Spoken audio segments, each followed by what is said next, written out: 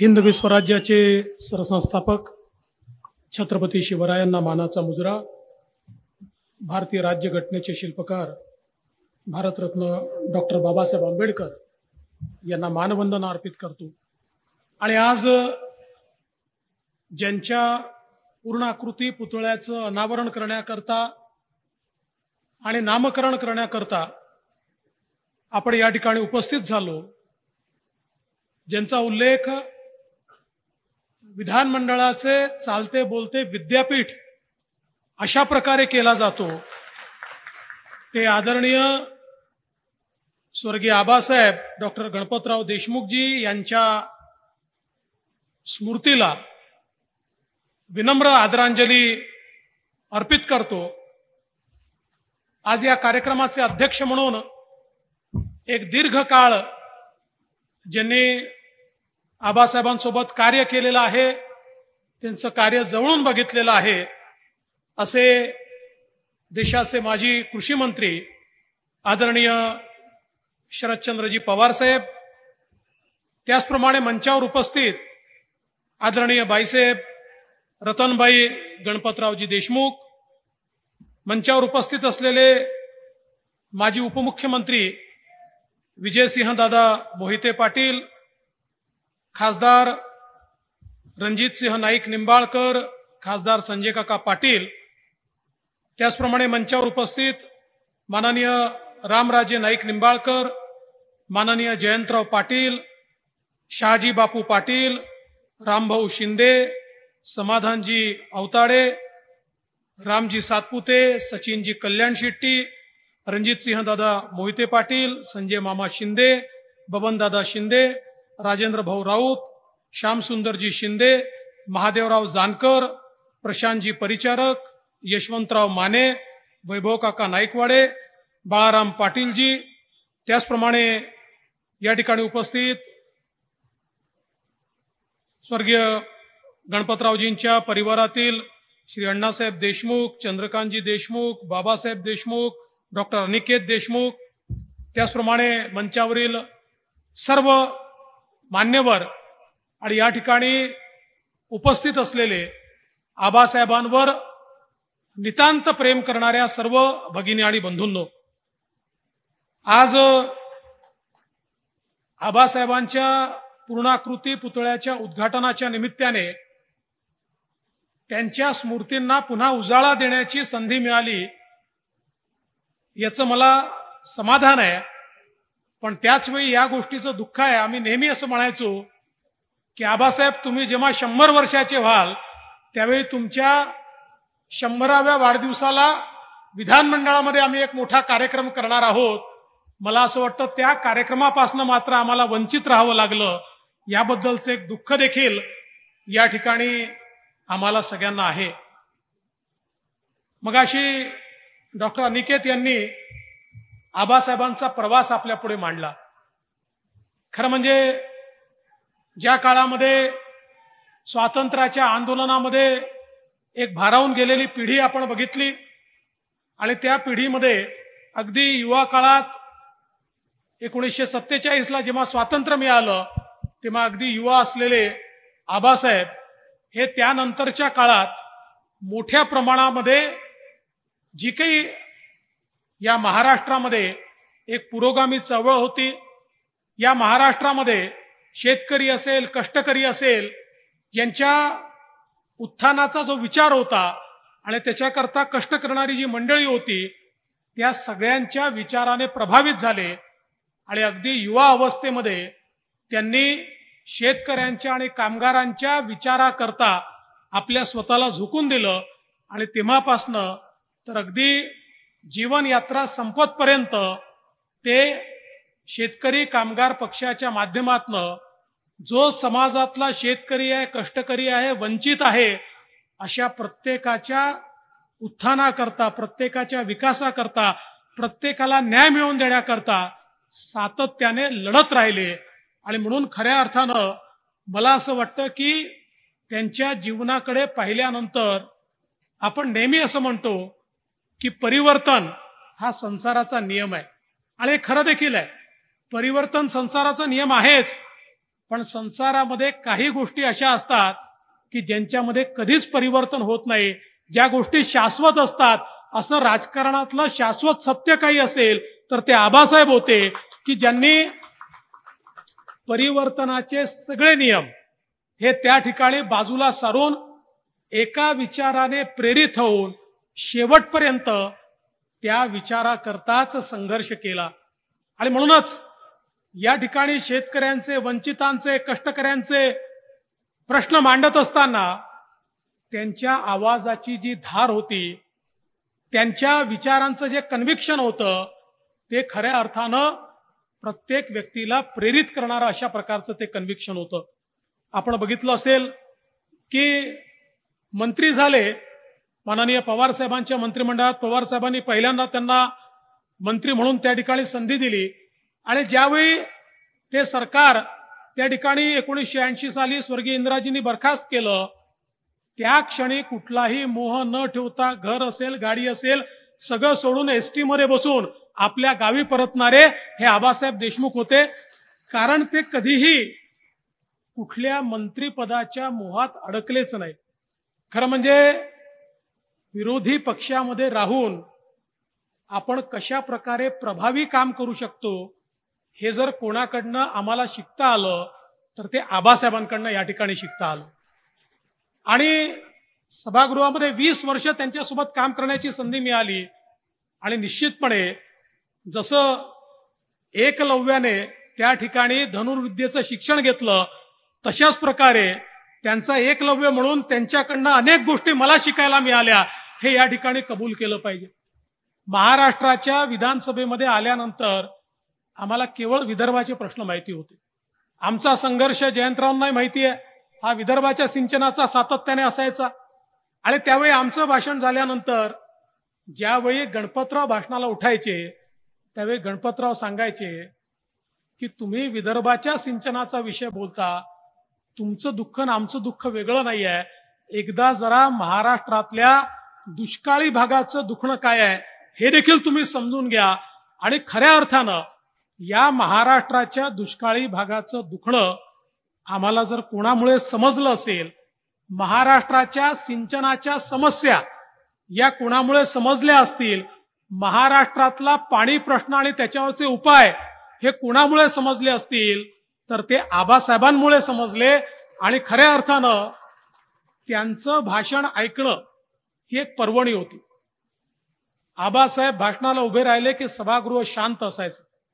प्रत्येक जण कान लावून ते भाषण ऐकायचा. तास असो सव्वा तास असो आबासाहेबांच्या भाषणातनं एक दिशा देखील मिळायची ज्ञानही मिळायचं आणि निश्चितपणे आपल्याला देखील असं वाटायचं की खरोखर व्यथा जर कोणी मांडू शकतं तर व्यथा मांडण्याचे शब्द हे जर कोणाच्या ठाई असतील तर ते आबासाहेबांच्या ठाई आहेत. अशा प्रकारे कष्टकऱ्यांची गरिबांची व्यथा ही आबासाहेब त्या ठिकाणी मांडायचे. आणि मला असं वाटतं की केवळ एवढंच नाही म्हणजे ते अकरा वेळा निवडून आले त्यांनी एक रेकॉर्ड या देशात तयार केला इतक्या पुरतं नाही. तर महाराष्ट्राच्या विधानसभेमध्ये एकही दिवस सुट्टी न घेणारा आमदार महाराष्ट्राच्या विधानसभेमध्ये सकाळी अकरा वाजता विधानसभा सुरू झाली तर पावणे अकरा वाजता आबासाहेब तयार असायचे. आणि विधानसभा कितीही वाजता संपो नऊला संपो दहाला संपो रात्री बारा वाजता संपो शेवटच्या जाणाऱ्या आमदारांपैकी आबासाहेब होते. कधीही एकही मिनिट सभागृहाच्या बाहेर आबासाहेब जायचे नाहीत कधी सुट्टी घ्यायचे नाहीत. आणि एक गोष्ट त्यांच्याकडनं आम्ही शिकलो की कुठलंही विधेयक हे चर्चेविना पास होऊ नये. आणि म्हणून विधेयक आलं तर त्या विधेयकावर आबासाहेबांनी त्या ठिकाणी आपलं मत मांडलं नाही. असं कधीच झालं नाही. कुठलंही विधेयक असेल तरी आबासाहेब परखडपणे आपले विचार हे त्या ठिकाणी मांडायचे.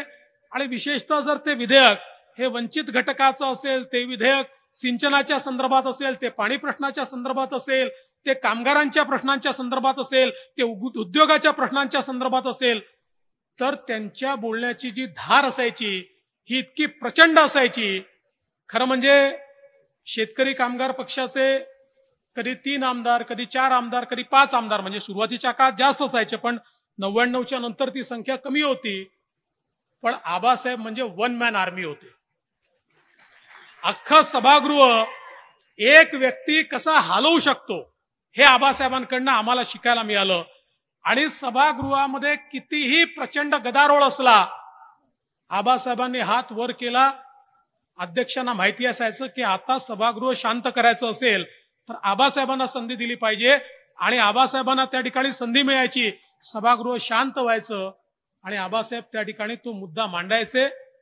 विरोधी पक्षामध्ये असताना ज्या प्रकारे प्रश्नाची सोडवणूक ते करायचे विरोधी पक्षात असताना देखील जिथे आवश्यक आहे आणि सरकारची भूमिका बरोबर आहे त्या ठिकाणी योग्य प्रकारे ती भूमिका मांडण्याचं काम देखील आबासाहेब करायचे.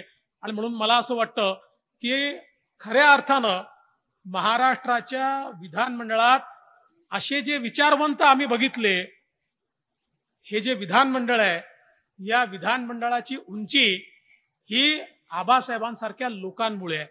आज महाराष्ट्राचं विधानमंडळ देशातलं उत्तम विधानमंडळ मानलं जातं ते आबासाहेबांसारख्या लोकांमुळे त्यांनी या विधानमंडळात जे कॉन्ट्रीब्युशन दिलं त्याच्यामुळे खऱ्या अर्थानं हे मानलं जातं. मला आठवतं दोन हजार तीन साली मी स्वतः त्या ठिकाणी आमदार म्हणून माझ्या मतदारसंघातला एक प्रश्न होता. त्या ठिकाणी सीएम फॉर्म्युल्याच्या जमिनी होत्या लोकांना मालकी हक्क द्यायचा होता. मी एक आयुध वापरलं. ते आयुध त्या ठिकाणी विनंती अर्ज समितीचं आयुध होतं. आणि त्यानंतर ती समिती माझ्या मतदारसंघात मी बोलवली. आमचे त्या काळामध्ये शेंडे साहेब हे विधानसभेचे उपाध्यक्ष होते. ते समितीचे प्रमुख होते. आबासाहेब त्या समितीत होते. समिती आली आणि त्या ठिकाणी अक्षरशः युद्धभूमी तयार झाली. एकीकडे आमचे लोक दुसरीकडे काँग्रेसचे लोक आणि मग ते सगळे तिथले जे काँग्रेसचे आमचे मित्र होते ते शेंडे साहेबांना भेटायला आले आणि त्यांनी सांगितलं साहेब जर समिती या ठिकाणी आली तर रणकंदन होईल. इथे फार जोरदार दोन गटांमध्ये आता भांडण होईल. त्यामुळे तुम्ही या ठिकाणी येऊ नका.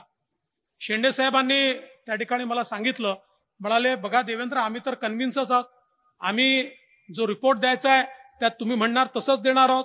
पण मी सीपींना देखील सांगितलं. सीपी सीपी त्या ठिकाणी आले. सीपी म्हणाले साहेब तिथे जोरदार भांडण होईल. अशा प्रकारची परिस्थिती आहे. मी म्हटलं काही हरकत नाही. मला माझं काम होण्याशी मतलब आहे. आबासाहेब त्या ठिकाणी होते. म्हणाले मला मान्य नाही. विधानमंडळाच्या समितीला अडवण्याची ताकद कोणाची आहे मला बघायचं आहे. विधानमंडळाची समिती त्या ठिकाणी जाईल. पोलिसांना सांगितलं तुमच्यात हिंमत असेल तर तुम्ही आम्हाला संरक्षण द्या. नसेल तर तुमच्या संरक्षणाविना मी समिती त्या ठिकाणी जाईल. पण विधानमंडळाची समिती कोणीतरी धमकी देत आहे म्हणून परत जाईल. या समितीचा अपमान मी होऊ देणार नाही. आणि आबासाहेबांच्या नेतृत्वात ती समिती मला असं म्हणाले माझ्यासोबत गाडीत बस तू उतरायचं नाही तिथे मात्र. तिथे तू उतरला तर दंगे होतील. मला स्वतःच्या गाडीत बसवलं. त्या ठिकाणी समिती गेली दोन्ही बाजूची निवेदनं घेतली पंधरा वीस मिनिटं आबासाहेबांनी सगळ्यांची चर्चा केली आणि त्यानंतर ती समिती परत आली. मला असं वाटतं की हा जो बाणेदारपणा होता आबासाहेबांमुळे त्याच्यामुळेच त्यांचं वेगळेपण हे सातत्याने आपल्याला जाणवायचं. आणि म्हणूनच ज्यावेळी या ठिकाणच्या पाण्याचा प्रश्न सोडवण्याची वेळ आली आणि मी त्यांना सांगितलं की निश्चितपणे आबासाहेब आपण काळजी करू नका. या सगळ्या ज्या योजना हातामध्ये घ्यायच्या आहेत त्या योजना आपण निश्चितपणे करू. त्या ठिकाणी टेंबूची योजना असेल किंवा उजनीच्या पाण्याचं काही फेर नियोजन असेल अशा अनेक गोष्टी सातत्याने ते सुचवायचे आणि त्या सगळ्या गोष्टी त्यांनी सांगितल्या. त्या गोष्टी आपण केल्या. एवढंच नव्हे तर त्या ठिकाणी मला आठवतं की जलपूजनाचा कार्यक्रम होता. मला म्हणाले तुम्ही यायला पाहिजे. मी म्हटलं आबासाहेब माझी काही अडचण आहे. पण गिरीश भाऊ त्या ठिकाणी जलसंपदा मंत्री आहे. गिरीश भाऊ येतील. गिरीश भाऊ आले. आणि आबासाहेबांचा मोठेपणा हा होता की त्या कार्यक्रमामध्ये आबासाहेबांनी अगदी खुल्या दिलानं सांगितलं की इतके वर्ष जो संघर्ष मी करत होतो मला ज्यावेळेस आश्वासन मिळालं की हे काम होईल माझा विश्वास नव्हता पण आज खऱ्या अर्थानं जलपूजन होत आहे आणि मुख्यमंत्र्यांनी आणि इरिगेशन मिनिस्टरनी दिलेला शब्द पाहिला म्हणून मी जाहीरपणे या सरकारचं अभिनंदन करतो. अशा प्रकारे खुल्या मनानं त्या ठिकाणी आमचं अभिनंदन करण्याचं काम देखील आबासाहेबांनी केलं होतं. खरं म्हणजे इतक्या गोष्टी त्यांच्याबद्दल सांगता येतील. हा जो काही वीस वर्षाचा प्रवास आहे मगाशी सुदगिरणीचा विषय आपण मांडला. हे खरं आहे की आता कोरोनानंतर काही अडचणी आल्या असतील. पण ज्या प्रकारे सुदगिरणी त्यांनी चालवली मी त्या ठिकाणी जाऊन आलो ती सुदगिरणी मी बघितली तिथल्या लोकांशी मी बोललो महिलांची माझी चर्चा झाली. खरं म्हणजे अनेक वेळा मला आश्चर्य वाटतं की ज्या भागामध्ये खूप कापूस आहे त्या भागातल्या सुदगिरण्या वर्ष दोन वर्षात तीन वर्षात बंद झालेल्या आम्ही बघितल्या. पण आबासाहेबांनी मात्र ज्या प्रकारे प्रामाणिकपणे या ठिकाणी सुद त्यांची सुदगिरणी अडचणीत आली तर कधी बेमानीने अडचणीत नाही आली गैरकारभाराने अडचणीत नाही आली. ती कधी अडचणीत आली तर विजेच्या बिलामुळे आली कधी आली तर कोरोनामुळे आली. त्यामुळे आपण ज्या संस्था चालवतो त्या संस्था आपल्या नाही आहेत आपली मालकी नाही आहे. ही मालकी जनतेची आहे आपण ट्रस्टी म्हणून या ठिकाणी आहोत. अशा भावनेतनं आबासाहेबांनी नेहमी सगळ्या संस्था चालवल्या. आणि म्हणूनच मला असं वाटतं की त्यांच्यामधलं हे जे काही एक मनाचं पावित्र्य होतं त्यामुळे त्या संस्था देखील उत्तमपणे ते चालवू शकले प्रामाणिकपणे चालवू शकले. ज्या प्रकारचा त्यांचा प्रवास होता कार्यकर्त्याकडे गेले तर त्याच्याच घरी राहायचं गाव भेटीला गेले तर तिथेच थांबायचं.